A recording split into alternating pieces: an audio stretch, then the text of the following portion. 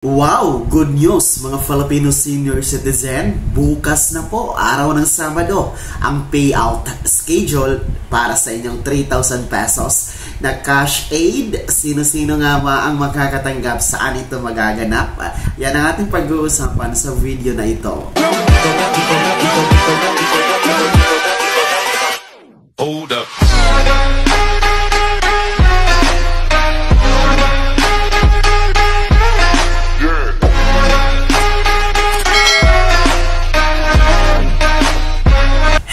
Hello mga ka-vlogs! Welcome dito sa aking YouTube channel. Magandang araw po sa lahat ng mga manonood. Saan po kayong dapat sa mundo? Kumusta mga ka-vlogs? Bukas na po, araw ng Sabado, September 7 po yan, ang schedule ng payout para sa 3,000 piso na cash aid para sa mga senior citizen na ito. Saan nga ba ito magaganap? Pag-uusapan natin yan mamaya-maya lang. Pero, kung bago ka pa lang dito sa aking YouTube channel o di kaya hindi ka pa nakasubscribe, abay, i-click nyo muna ang ating subscribe button na nasa baba. Huwag nyo kalimutan na pindutin ang notification bell para naman updated ka sa lahat ng mga videos na i-upload ko.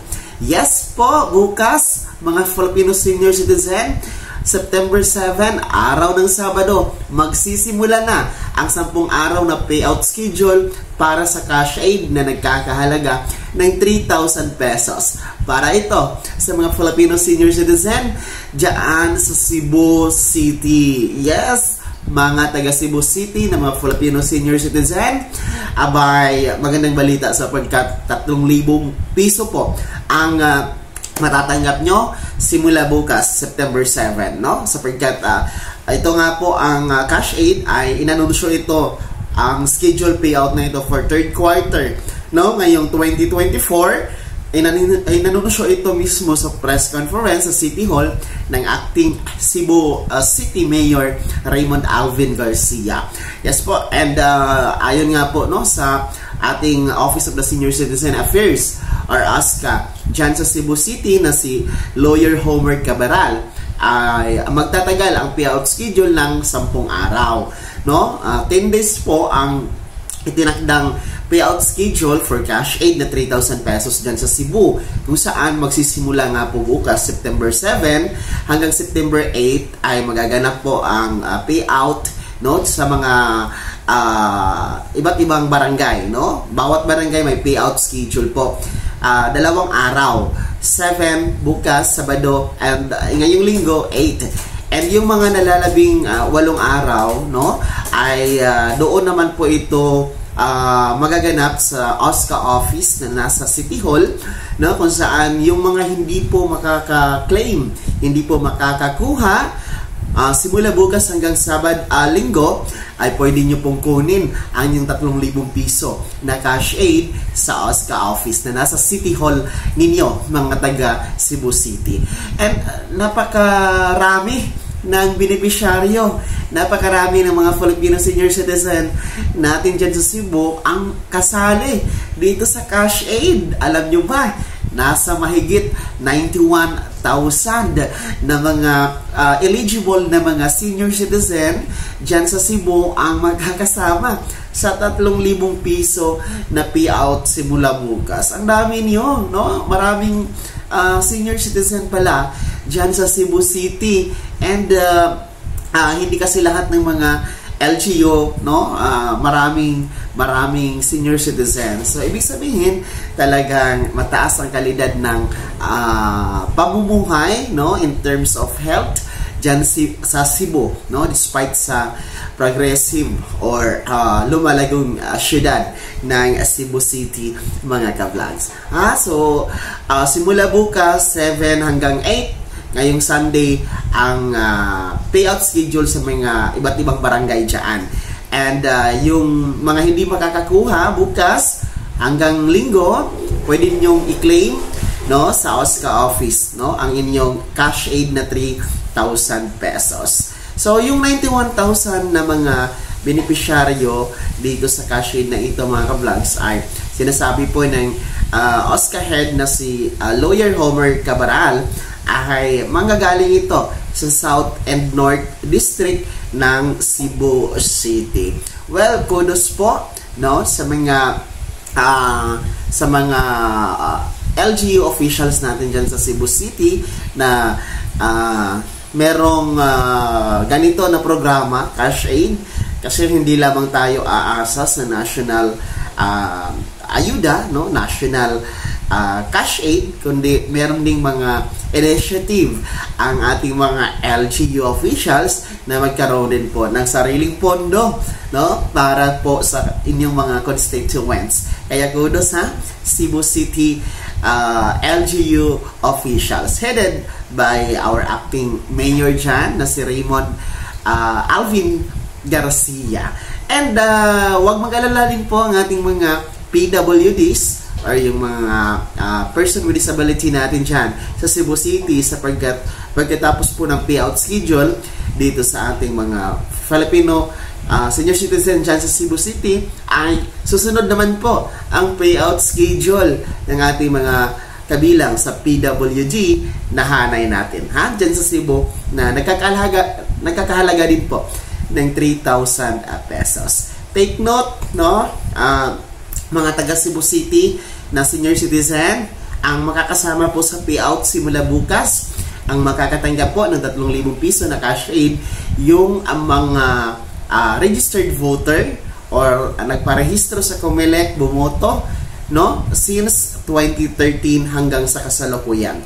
So kung kayo po ay nagkaboto, nakarehistro diyan sa Cebu City, since 2013 hanggang ngayon sa kasalukuyan, kayo po ang eligible na makakatanggap ng 3,000 piso na cash aid simula bukas mga ka-vlogs. Ha? Yung mga uh, senior citizen naman na nakarehistro since 2014, hindi pa kayo kasama. No? Ang sinasabi lang po sa criteria, yung registered voter since 2013. So, hinahanapan pa ng pondo yung mga registered ng since 2014. No? Ang hinahanapan pa daw kayo ng pondo. No? Sabi naman po yan ng uh, Oscar Head ng Cebu City na si Lawyer Homer Cabaral. So, good news po, maghanda na bukas no? Uh, maghanda na bukas mga senior citizen dyan sa Cebu. Ihanda nyo na ang inyong senior citizen ID or iba pang uh, ID para makaklaim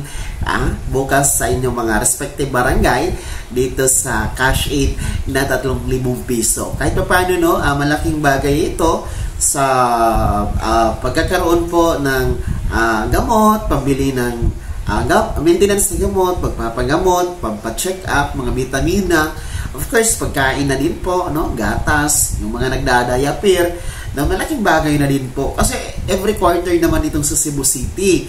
No? Hindi lang ito one-time payout ng isang taon, kundi every quarter. So, ibig sabihin, no, sa sa taon na ito 2024, uh, ah, apat na beses sila makakatanggap. So, meron pang nalalabing last quarter. So, probably possible December pa yan. So, 12,000 pa rin no, total na matatanggap ninyo. Uh, gaya ng social pension ng national government doon sa DSWD. So, uh, malaking bagay talaga kung kayo ay uh, beneficiaryo ng social pension. 12,000 din po yun man, uh, a year.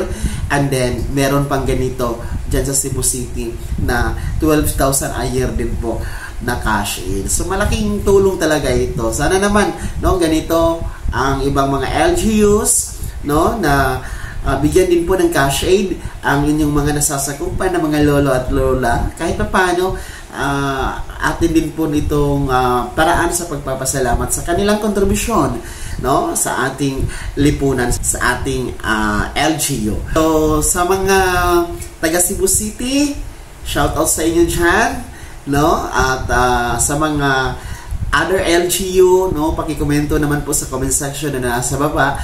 Kung meron din, din po ba kayong cash aid na binibigay ang inyong LGU, no? Meron din po ba kayong natatanggap ng cash aid uh, mula sa uh, LGU kung saan kayo? Pakikomento po sa comment section na nasa baba para naman atin yang uh, matalakay din po sa susunod natin na mga episode, no? Para bigyan din po natin ng pugay ang inyong LGU sa pagkakaroon ng uh, gaya nitong magandang programa no? Uh, na-cash in para sa ating mga Filipino senior citizen. Bago ako matapos sa video na to, kung gusto niyo pong sumuporta dito sa aking YouTube channel, maaari niyo pong i-click ang ating super thanks button na nasa baba.